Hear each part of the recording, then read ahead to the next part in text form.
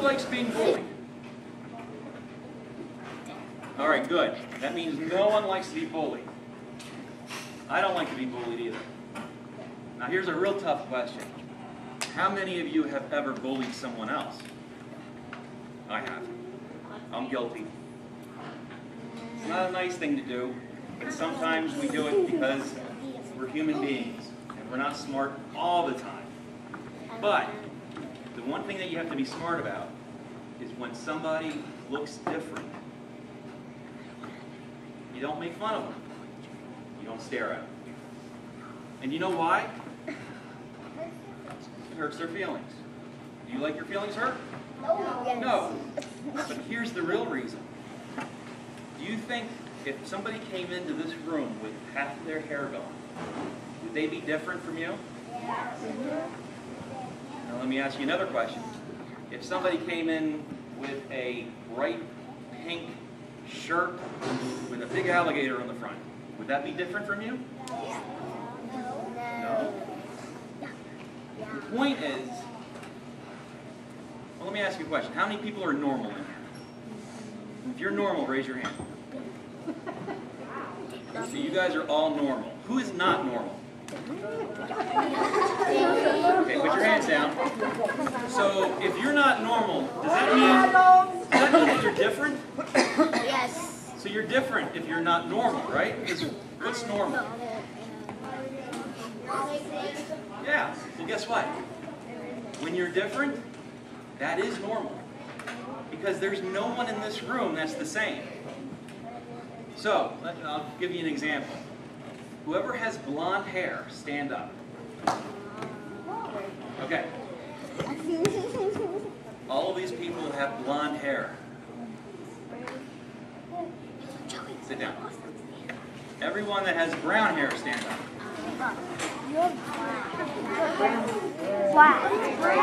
All of you guys are different from the blonde hair people. Sit down. Who has gray hair? So our hair is becoming different from all of yours. Who has red hair? Anybody have red hair? Miss Sheldon does. Okay, so that shows you that no one is the same. So there's no such thing as normal. Some of us wear glasses.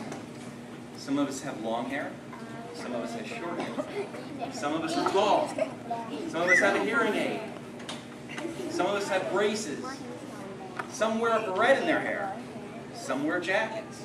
Some wear sneakers, flip-flops, shoes. We're all different. And that's a good thing. Because how would you like to be the same every single day? Eat the same food, wear the same clothing, do everything the same. Good. Right. So, with alopecia, lose your hair, a lot of times you feel like you're not normal. And a lot of kids get sad and they want to cover it up because they're afraid. They're afraid of being made fun of. They're afraid of people staring at them and making fun of them. But most importantly, they just don't feel good about themselves. Anybody in this room, do you ever not feel good about yourself? Like you had a bad day and it's like, oh, jeez. Okay. Sometimes the best way of getting over that is just to go through it and don't hide. We have somebody in this in this room that has alopecia. Did you know that? How many people knew that there was someone with alopecia? Now, put your hands down. How many people didn't know? Now, when I tell you who it is, are you guys gonna like stare at this person? No. Are you gonna laugh?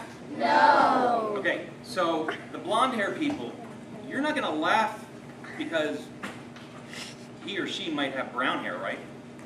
And the brown hair people won't laugh at her because she has blonde hair, right? Right. Yeah, It doesn't matter.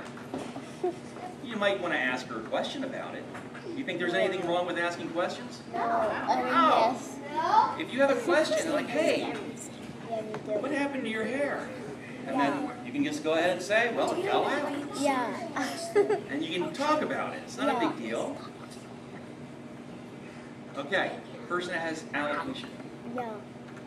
stand up. Yeah. You guys didn't know that, did you? Well, Haley has alopecia. And right now, she looks like she has a, a nice amount of hair. And sometimes it can be just a little bald spot. And you can cover it up with long hair.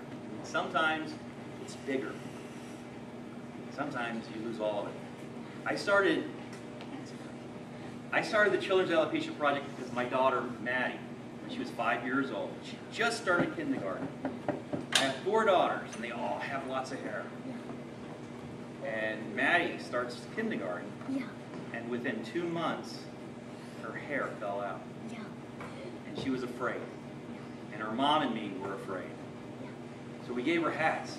She wore hats every day. Yeah. And that was a bad decision on us because what we did was we made her think, well, you're losing your hair. You're not normal anymore. So cover it up. Hide. That's what I felt like. I felt like I just don't want to see it. And then the craziest thing happened. She was in a play and she had to wear an Indian headdress. And she couldn't put it on her head because she was wearing a hat. And she thought she looked silly. And I said, well, the only thing you can do is take your hat off. And she said, but I'm afraid. I don't want the kids to make fun of me. And I said, I will talk to your school. And then she said, I never wanted to wear these stupid hats anyway. All I could think about was I made a huge mistake. I tried to cover up something that was beautiful. My daughter's head. It didn't matter if it had hair on it or not. She's my little girl and I loved her. And I made her feel like she wasn't as good as everyone else and she needed to cover it up and hide. So, no matter what you guys are going through, never hide. Be who you are, Yeah. all right? And if someone makes fun of you, you can walk away, or you can tell your teacher, or your mom and dad. But always remember that if anyone bullies you, I promise you, I promise you, whoever is bullying you or making fun of you, I promise you that that person has something going on in their life too. Because they have to do that so they feel better about themselves. So that's what bullies do. They make you feel bad so they feel better. But really, bullies need friends too. Yeah. All right? So don't be a bully. We all make mistakes, try not to be mean to people just because they look different. Because who else is different? We do this real big thing every year. It's called Alopecia Palooza. It's a big camp. We have kids from all over the world that come to it that have alopecia. Because it's the only place on earth where they get to feel the same as everyone else. They don't have to worry about people staring at them because the moms, the dads, the brothers, the sisters, and the kids with alopecia, Yeah. they're not going to stare at someone else because they live it every day. Yeah. So they feel comfortable. And a lot of times kids come to this and they go home and if they were wearing a wig or a hat, they might take it off. Yeah. We just had one in August, and the greatest thing that happened, happens every year, is when a mom or a dad calls me up and says, Johnny went to school and didn't wear their hat for the first time ever. That's pretty cool.